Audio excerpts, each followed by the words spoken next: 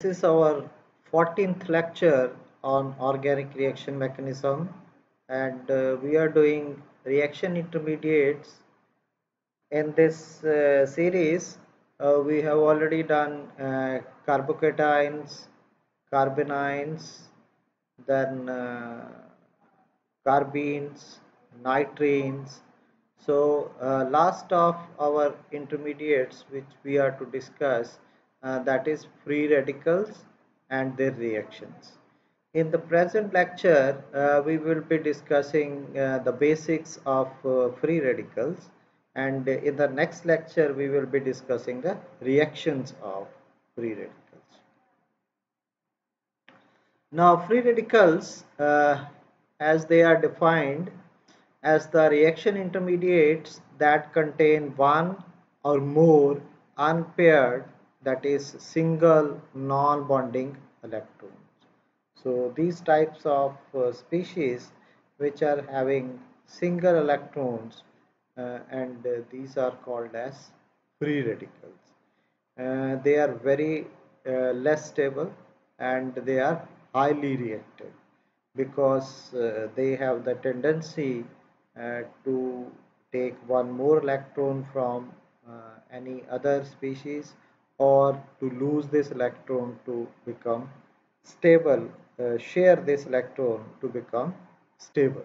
So uh, these uh, react in fraction of seconds with another species uh, due to the tendency of the odd electron to either pair up with another odd electron as I have told you to give a stable product. Uh, then organic radicals uh, they are generally transients and some uh, they are long lived also.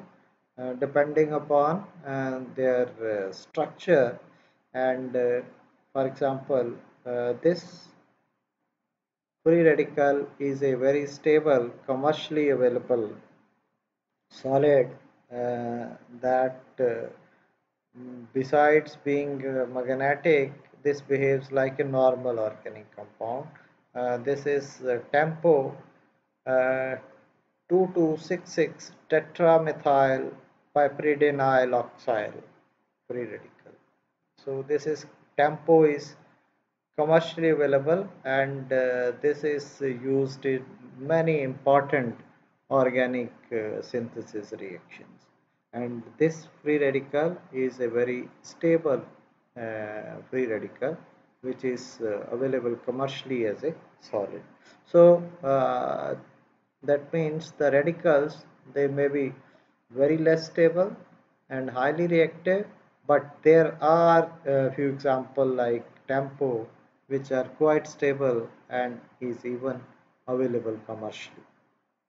Then uh, the stabilization of these organic uh, radicals uh, is uh, uh, determined by the presence of uh, any of these or all of these factors that is presence of electron donating group will stabilize the uh, free radical. For example in this case you can see there are four uh, methyl groups uh, which are electron leasing in nature they stabilize uh, this free radical.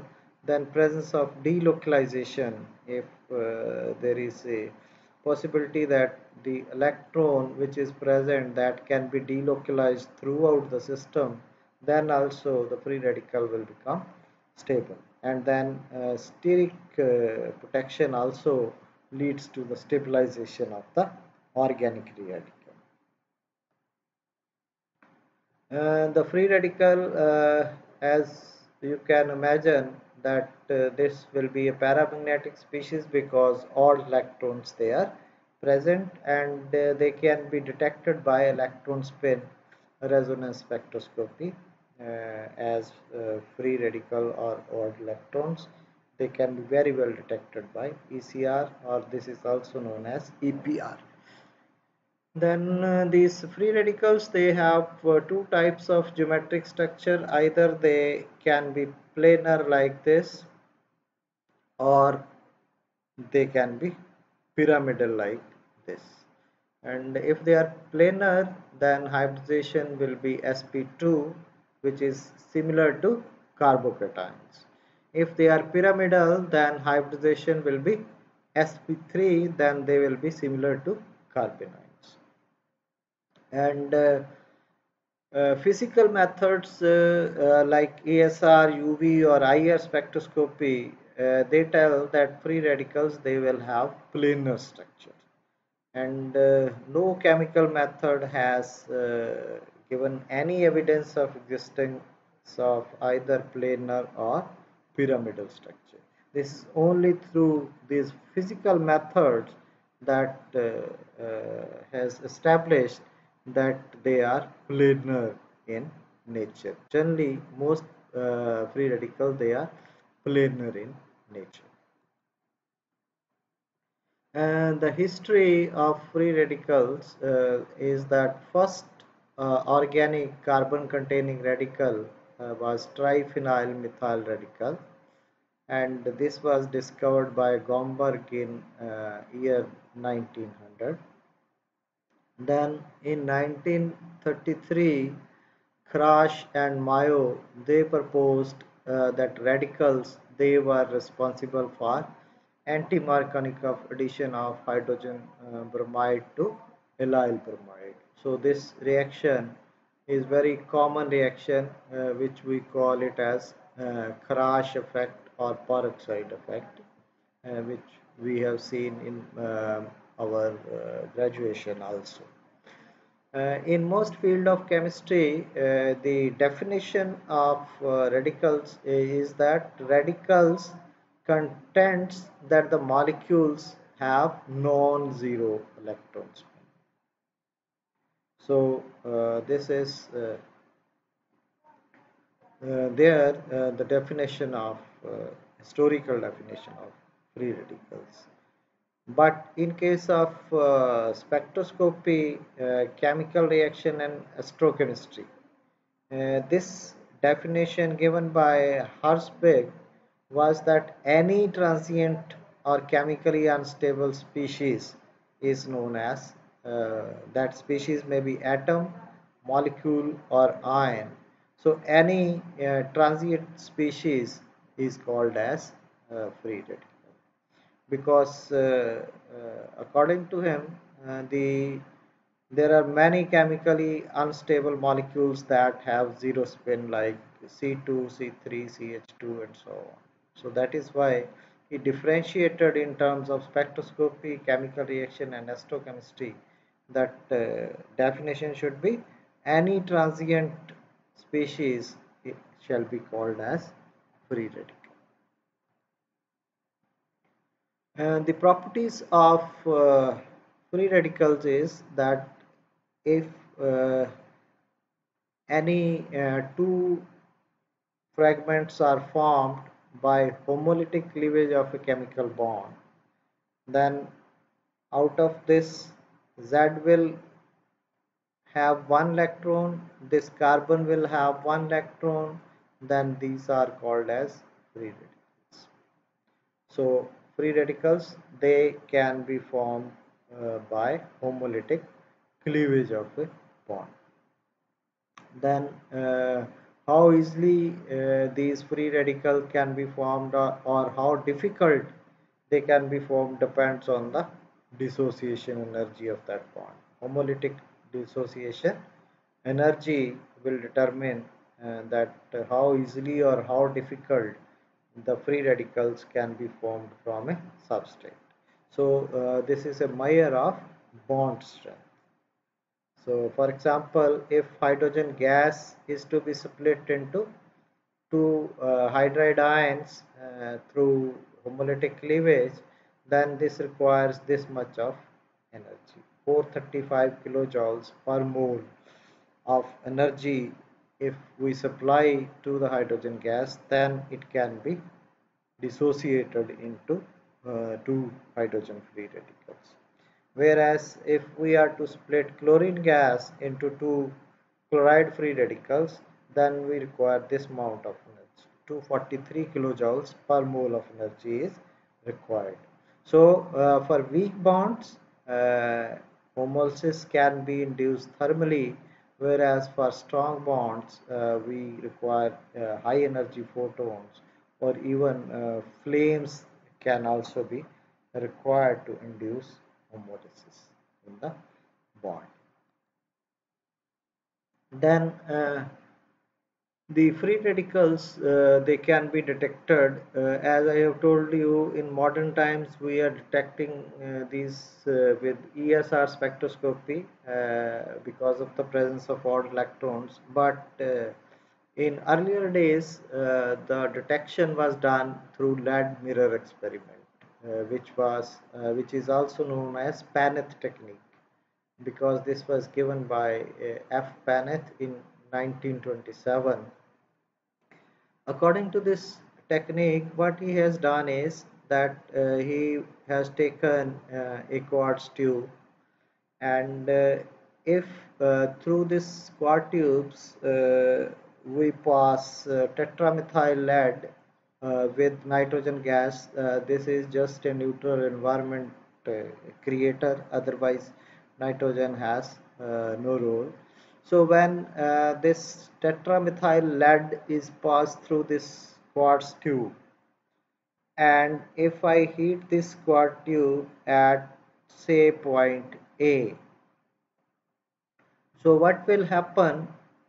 This tetramethyl lead will on heating produce methyl free radicals and lead mirror will be formed at right?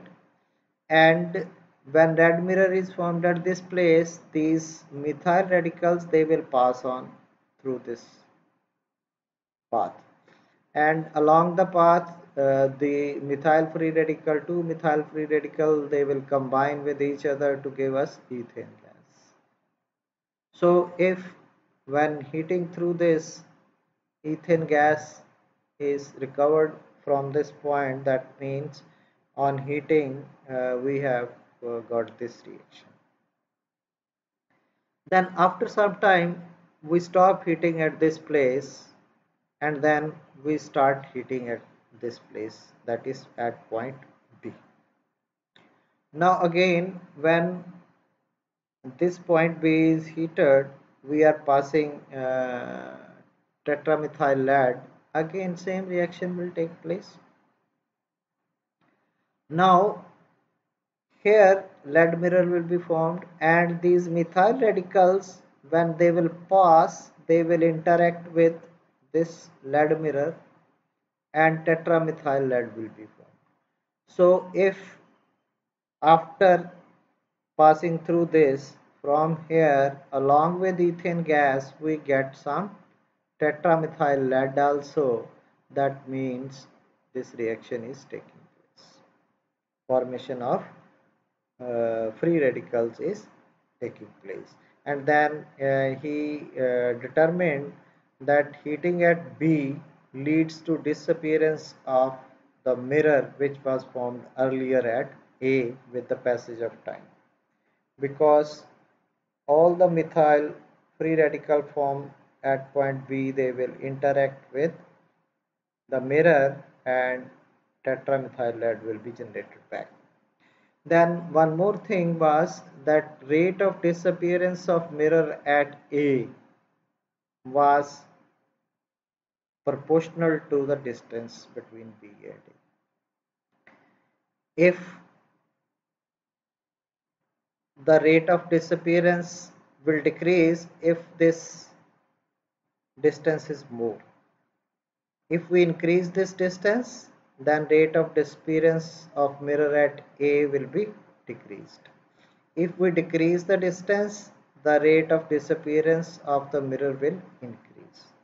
So this also proves because as the distance will increase, then many of the methyl radical formed they will be converted into ethane gas before reacting with the mirror. So that is why the rate of disappearance of mirror at A was found to decrease with increase in distance between A and B.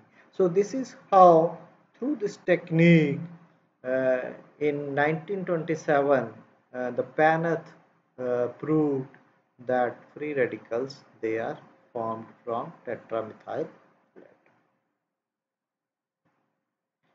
then is uh, stability of uh, free radical. Uh, the factor which can stabilize the electronic charge on carbon that will stabilize a free radical. And uh, these factors they are hyperconjugation resonance effect extent of delocalization and rigidity of the free radical structure.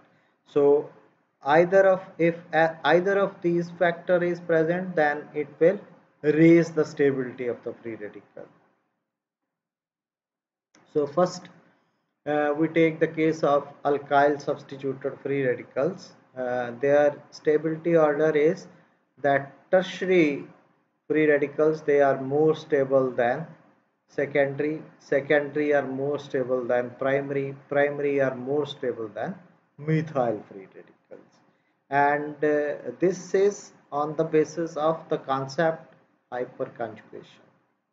Uh, this is same as we have seen in case of carbocations so here what happens is that uh, donation of electron density from uh, beta carbon hydrogen bond or carbon-carbon bond into unoccupied p orbital of a free radical which allows the change to be uh, charge to be delocalized. If we see this is a methyl free radical. Now there is uh, no hyperconjugation possible because there is no second carbon present in this uh, intermediate. Now we take the case of ethyl free radical. Now in ethyl free radical if this bond breaks one electron remains with this hydrogen one electron remains with this carbon this is shifted to this place this is shifted to this place this will create a these two electrons they will form a carbon carbon double bond like this. And H radical will be formed. So the, this type of structure is called as hyperconjugative structure. So this delocalization of the electron will stabilize the uh, free radical. So that means in ethyl radical there is a possibility of these three hydrogens giving us these three hyperconjugative structures. So overall there are four uh, structures, hyperconjugative structures which are possible in case of ethyl free radical. So that is why ethyl free radical will be more stable than the methyl free radical which is not having any other hyperconjugative structure. So this is having only one structure, this has four structures, more the number of hyperconjugative structures, higher is the stability of that free radical. Similarly, if we take the case of isopropyl free radical. Now in this case, this structure plus 3 structure will be formed by delocalization of this bond carbon hydrogen bond to create a carbon carbon double bond over here or 3 more by delocalization of uh, sigma bond hydrogen breaking by this and a formation of carbon carbon double bond over here. So that means overall one this structure plus 3 this 3 this. Total seven more seven structures they are possible. So seven hyperconjugative structures they are possible in case of isopropyl so that is why isopropyl will be even more stable than the ethyl free radical. Then we take the case of tertiary butyl. So in case of tertiary butyl three structure possible because of this carbon three because of this and three because of this. So overall 3 plus 3 plus 3 9 plus 1 this structure 10 so 10 hyperconjugative structures they are possible for tertiary butyl and because of that the tertiary butyl is even more stable than the isopropyl so this is a tertiary free radical this is a secondary free radical this is a primary free radical and this is methyl free radical. so that is why tertiary is more stable than secondary, than primary, than. And reason is hyperconjugation. So this is the process of hyperconjugation. This carbon hydrogen bond will give one electron from here H will go as H radical and this is a process of hyperconjugation in a alkyl free radical. Then is uh, resonance effect. The benzyl and allyl free radicals. They are stabilized more in comparison to alkyl free radical because of the presence of resonance due to delocalization of electron density from the free radical center to the pi system. So for example, if this is the free radical this two electrons one electron goes to this place this one electron goes to this place that means there is a resonance between this system. So this is a resonance hybrid of these two structure and because of this resonance uh, this allyl free radical uh, is more stable as compared to allyl free. So this is uh, how in case of allyl the formation of a carbon-carbon double bond can take place either at here or at here that is resonance is possible in both the cases. Similarly, if we take the case of benzyl free radical, so here also uh, the delocalization of the charge uh, that is one electron uh, is possible with the aromatic ring like this we can have four uh, resonating structures. So more the number of resonating structures, higher will be the stability of the free radical. So that is why uh, benzylic free radical will be more stable than the allylic free radical. And both of these, they will be more stable than the alkyl free radical because resonance effect is more pronounced than the hyperconjugation. Uh, then another example of resonance effect is that if instead of one benzene ring we are having three benzene rings. And you can see that for one ring there were four hyperconjugative structures. Then for the second ring and third ring three resonating structures more are possible for A, three for B.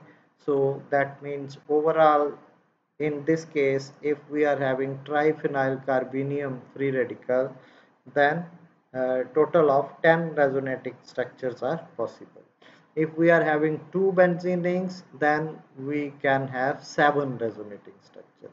So that is why uh, if we increase uh, the number of benzene rings on the benzylic free radical doubly or triply benzylic free radicals they are more stable uh, because of the high degree of resonance in comparison to benzylic free radical.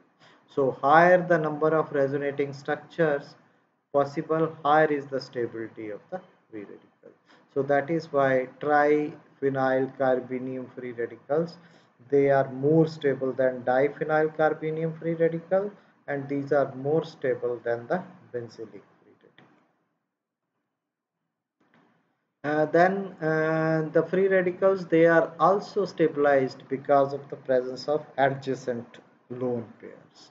So for example if I uh, substitute uh, oxygen in between two alkyl groups uh, we know that this oxygen will have two lone pairs either oxygen or nitrogen. Nitrogen will have one lone pair oxygen will have two lone pairs so if uh, these are present as adjacent groups then uh, radical is more stable than the methyl or ethyl uh, free radical. That is uh, or we can say the alkyl corresponding alkyl free radical.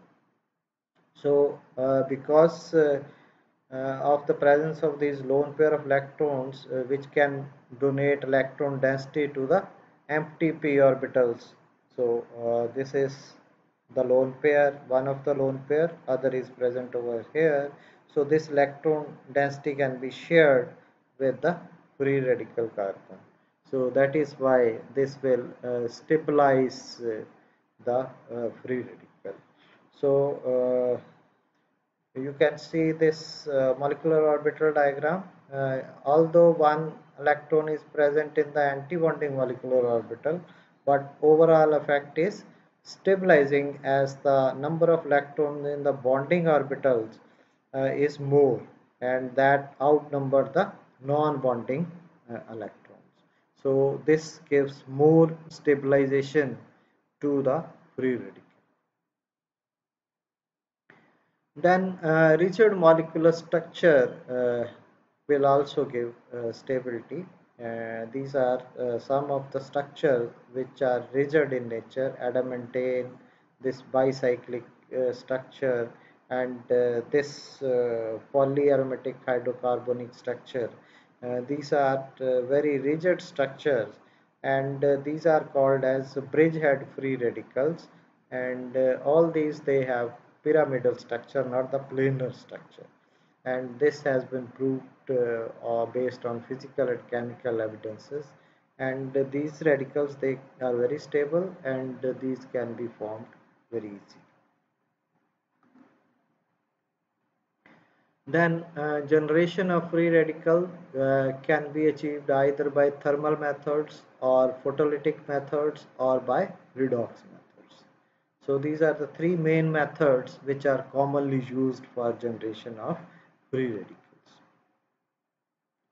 So thermal method is that uh, when we heat uh, uh, a, an organic compound uh, at a, su a, suitable moderate temperature so that it can uh, dissociate homolytically to give us free radical and two types of organic compounds they generally undergo homolytic dissociation uh, that is uh, compounds having intrinsically weak bond and example is dialkyl peroxides.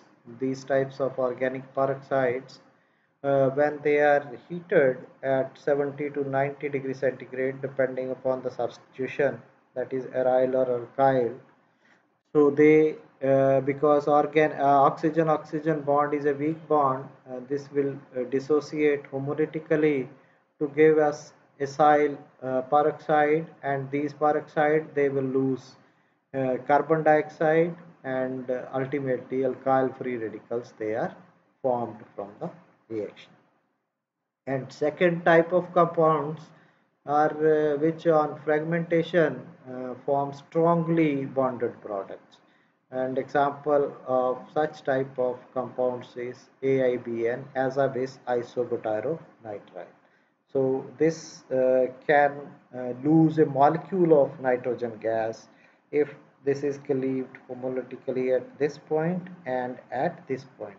So one electron from here will remain with this part, one electron will go to this place. Similarly, one electron from here will go to this and we will get in nitrogen nitrogen triple bonded nitrogen molecule and then this free radical and this free radical they are formed they are same and they can join together to give us a stable so these types of uh, uh, AIBN uh, type substances or organic peroxides they are used as uh, free radical initiators for uh, many types of polymerization reactions.